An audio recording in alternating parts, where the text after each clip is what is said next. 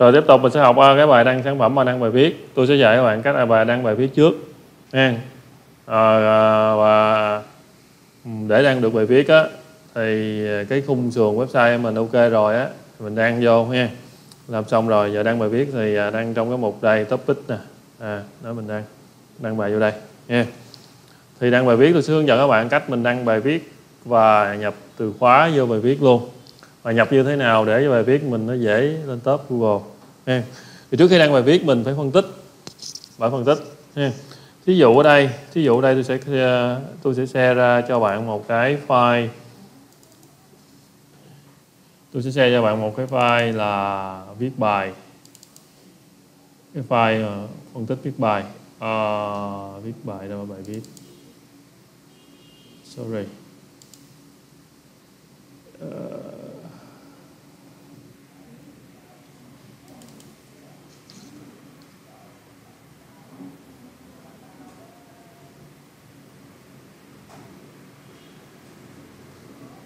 Tôi sẽ gửi cái file này xuống cho các bạn luôn ha.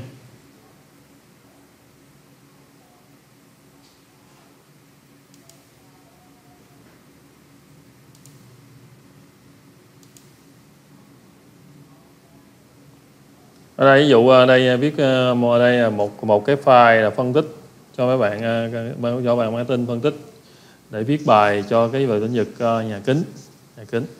Thì để mà mà phân tích viết bài á, thì mình phải lên một cái danh sách từ khóa như thế này. Không? Từ khóa đây. Đó. Sau đó tự nhiên có từ khóa này mình mới ra cái bộ mà bài viết của mình. Ừ. Đối với đối với uh, từ khóa là chi phí làm nhà kính nè. Một ngàn mét vuông này á số lượng sệt là sáu sáu trăm mười người.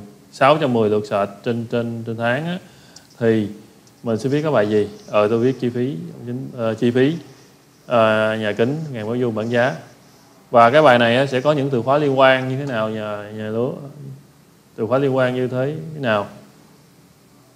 Thì thì mình sẽ ghi vô. Đó. Rồi, tương tự như vậy mình sẽ làm tiếp làm tiếp làm tiếp. Tùy theo mỗi lĩnh vực mình làm cái cái bộ từ khóa và cái bộ bài viết khác nhau.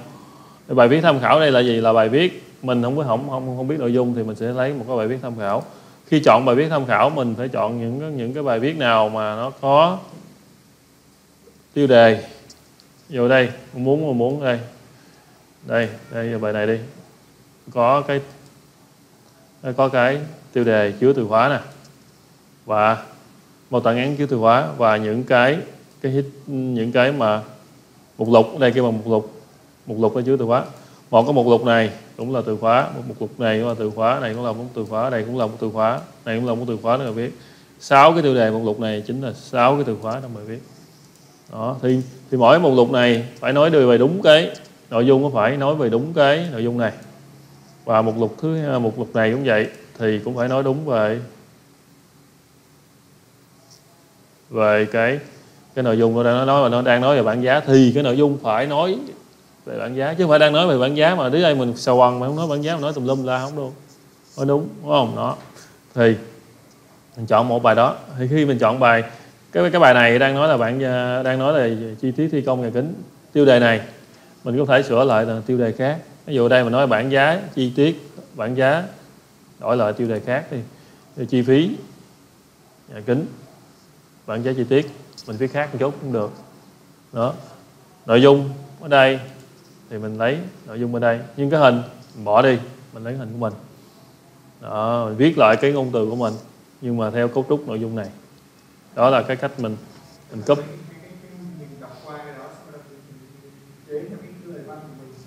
Ờ cái lời văn bài văn của mình viết nhưng cái nội dung là mình đang nói nội dung xem xem với người ta đúng không? Đó như thế đó thì Google nó sẽ không có có bắt cái lỗi là mình copy nội dung.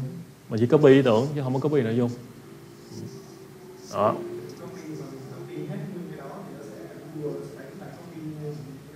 Đúng rồi nhưng mà nếu đó những cái web nào á mà ở dưới đây nó có cái phần là, là đây đây nè.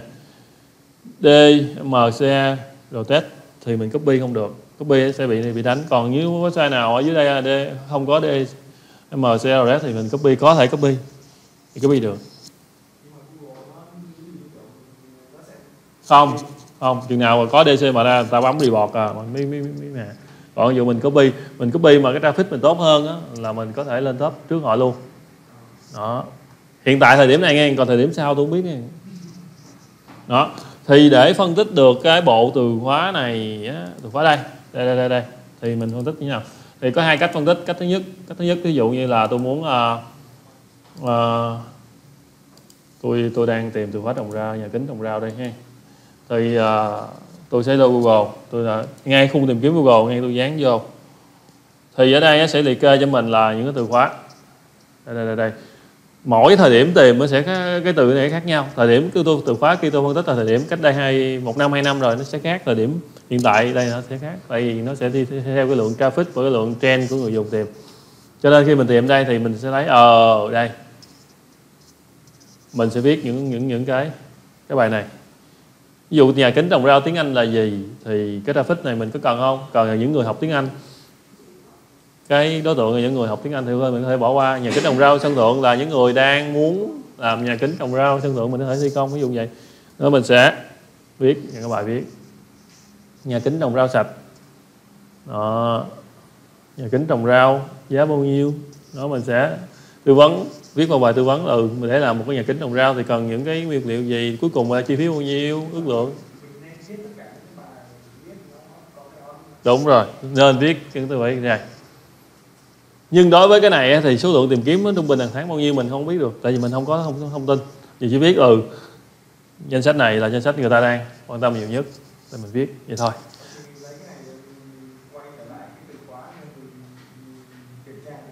Ờ, đúng rồi quay. Mình rồi mình kia mình sẽ kiểm tra. Mình kiểm tra bằng những công cụ nào có những công cụ để mình kiểm tra ha. Ví dụ như là ờ, công cụ trả phí á, là công cụ uh, keyword uh, lan lanner hoặc keyword tool. À, công cụ trả phí ha. Sử dụng công cụ trả phí để mình mình xài ha. Đây công cụ lanner đây.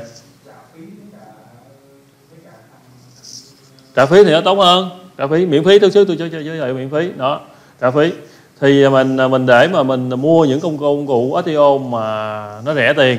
Nó nó rẻ tiền là dạng mua chung.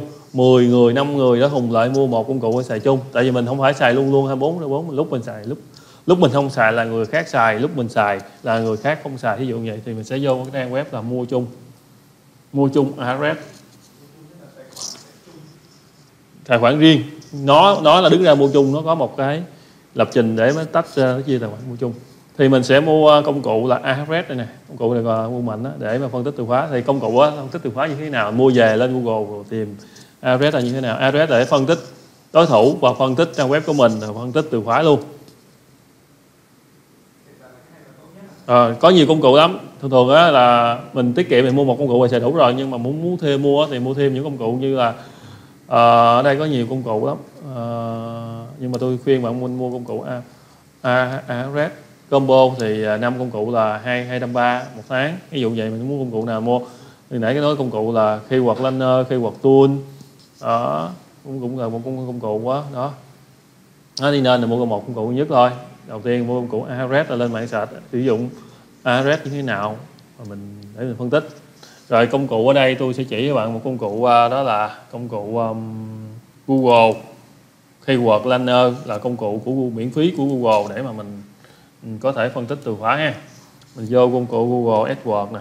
Google AdWords công cụ miễn phí. Còn công cụ trả phí thì nó trả phí thì nó sẽ có cái độ hay của trả phí. Nhưng miễn phí thì cũng xài được thôi chứ không phải là nó không xài được. Tôi giới thiệu các bạn công cụ miễn phí ở đây để mình làm. Còn trả phí thì mình phải mua mình mua chính hãng. Thì khoảng chừng tính tiền đô thì uh, vài chục đô vài trăm đô một ờ, một tháng thì nhân lên. Còn mình mua mình mua chung á, thì ok cứ hai hai trăm ba, năm công cụ mình mua ít hơn thì tính tiền ít hơn trăm mấy gì đó, mình mua hai trăm ba một tháng, nhân lên. Ví dụ vậy, đó là năm công cụ. Còn mình mua ít hơn thì mua một công cụ thì khoảng ờ, vài chục gì đó. Mình cái mình đóng hàng tháng trăm mấy gì đó. Tôi không nhớ, tôi mua hai trăm ba, năm công cụ về xài. Vậy đó. Còn không mà chơi miễn phí thì mình vô ad.google.com ờ, rồi không mà đăng đăng nhập tài khoản nha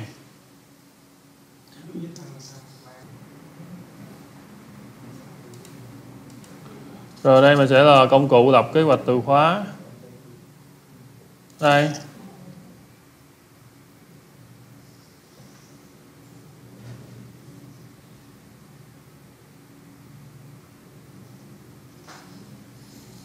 Rồi khám phá khám phá từ khóa mới nè, vô đây. Rồi mình sẽ à, nhập một cái từ khóa nào đó, ví dụ như là tôi nhập từ khóa là nhà. À, kính trồng rau chẳng hạn kết nhận kết quả. Mình thêm nếu mình thêm cái web, web, website mà chuyên ngành của mình website mà chuyên ờ, về nhà kính đó, thì nó dễ hơn. Ở đây sẽ ra cho mình đây. Từ từ khóa nhà kính trồng rau này sẽ liệt kê mình. Nhà kính trồng rau của mình là ờ, là, là 590 nhà lưới nè trồng rau gì đó. Đây kéo ra trồng rau trong nhà kính bao nhiêu bao nhiêu lượng bao nhiêu nhà làm nhà kính trồng rau vân vân. Thì mình lấy bộ này đem về để mình làm. Nó được chưa? Đó bộ này mình sử dụng công cụ này. Ừ. còn công cụ Ahrefs á, thì nó phân tích đối thủ một cái bài viết nào đó đang lên top thì mình dán đường link nó vô thì biết ở ờ, bài viết này nó lên top từ khóa nào và nó đang SEO từ khóa nào rồi điểm như thế nào để mình có thể mình copy, mình học theo cũng được. Nó phân tích như vậy. Nó phân tích sâu hơn. Còn đây chỉ là nói về từ khóa là số lượng tìm kiếm trung bình trên tháng thôi. Hết. Đúng không? Đó. Chuyên chuyên dành cho SEO để phân tích. Chuyên dành cho SEO phân tích từ khóa của web mình luôn đúng. Rồi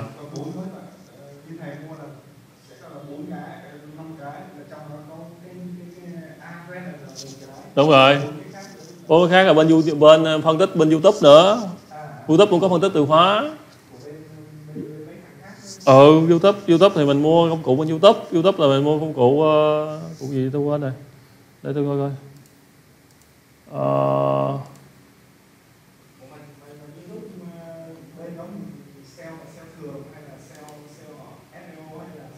cũng sale YouTube YouTube cũng có sale à YouTube cũng có sale YouTube nó có công cụ uh, YouTube YouTube nó có công cụ là Which IQ WIQ We viết viết chứ viết IQ viết uh, ờ, IQ cái gì đó tôi quên rồi. Tôi hay xài nó mà phân tích uh, từ khóa phân tích trend trên YouTube á, thì dùng with IQ này nè nó cũng là phân tích. Thôi đó. Những cái bước đầu tiên á, là mình phải lên được cái len viết bài. Đó. À, viết bài.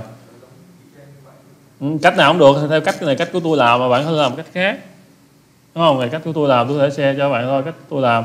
Còn cách của bạn làm thì bạn có thể làm bằng một cái cách nào đó khác hay hơn. Ví dụ như đầu tiên lên toàn bộ danh mục và sau đó tôi lựa những cái bài viết nào đó trên đây để để, để tôi tôi viết gộp chung với nhau. Nhiều từ khóa gộp chung thành một bài nhiều, nhóm chung nhiều từ khóa, nó cùng nội dung với nhau, cùng hành vi với nhau để mình đưa vô một bài viết.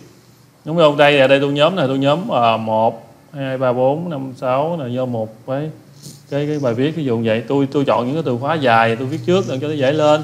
Tôi không không chọn những cái từ khóa nào đó mà nó số lượng cạnh tranh cao, tôi tôi không chọn. Tôi chọn những từ khóa mà nó nhẹ nhàng để dễ viết viết lên trước, từ từ từ từ cái.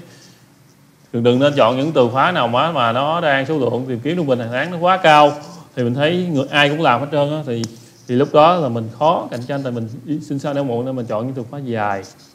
Dài thì mình thêm đuôi vô thêm vô giống như là thay vì mình thay vì mình à, mình sell từ khóa là thi công nhà kính đi thì mình nói là là thi công nhà kính công ty thi công nhà kính công ty thi công nhà kính hoặc là công ty thi công nhà kính uy tín ở đâu hoặc là mình thêm từ ở đâu vô thêm cái từ à, thi công nhà kính ở ở đắk lắc thi công nhà kính ở uh, ở uh, quy nhơn thi công mà tính ở những cái quận huyện cầm vô ví dụ như vậy.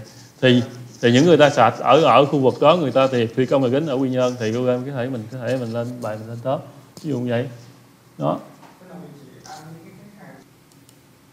Đó là cái kế hoạch để mình viết được cái mình viết được bài viết gì bài viết nào mục nào. Đối với sản phẩm cũng vậy mình cũng phải mình cũng phải có từ khóa vô sản phẩm. Nhưng mà sản phẩm thì sản phẩm nó thông số kỹ thuật, kích thước, chiều rộng, chiều dài, chiều cao. Thì tất cả các sản phẩm của của của các website đều giống nhau, nhưng mà cách viết khác nhau. Nha. Mình có thể copy được lại những cái thông số kỹ thuật, copy qua lại với nhau được, nhưng mà cách viết khác nhau. Nha. Đó. Sản phẩm thì phải có thêm bằng giá nữa. Giá giá bán và giá khuyến mãi. Còn đối với bài viết thì mình chỉ cần nội dung mà thôi. Nội dung và mục lục. Nha. Đó rồi bây giờ tiếp theo, bây giờ là mình sẽ vô mình viết bài thử nghe.